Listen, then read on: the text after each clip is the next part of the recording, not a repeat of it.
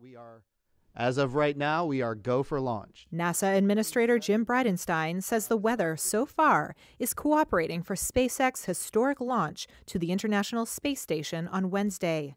That's when two American astronauts are set to blast off from NASA's Kennedy Space Center, ending the U.S. Space Agency's nine year hiatus in human spaceflight and the first manned flight by a private company. Astronauts Doug Hurley and Bob Behnken will be launched into space from Elon Musk's SpaceX Crew Dragon capsule, an event that Bridenstine says is transforming how NASA operates. We're transforming how we do spaceflight in general.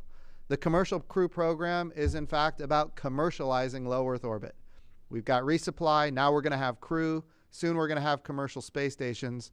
For NASA, SpaceX, and its founder, Elon Musk, a safe flight would mark a milestone in business led space travel. NASA, which is hoping to stimulate a commercial space marketplace, recently awarded $3.1 billion to SpaceX and 4.5 billion to Boeing to develop dueling space capsules. Then, NASA plans to buy astronaut seats from the two companies.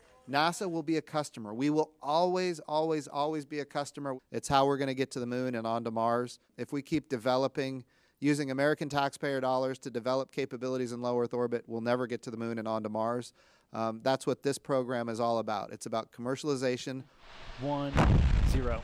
SpaceX successfully tested Crew Dragon without astronauts last year in its final orbital mission to the space station. That vehicle was destroyed the following month during a ground test when one of the valves for its abort system burst, causing an explosion that triggered a nine month engineering investigation that ended in January.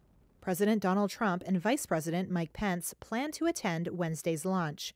But NASA says no matter who is watching, it reserves the right to cancel the launch at the last minute if conditions are deemed unsafe.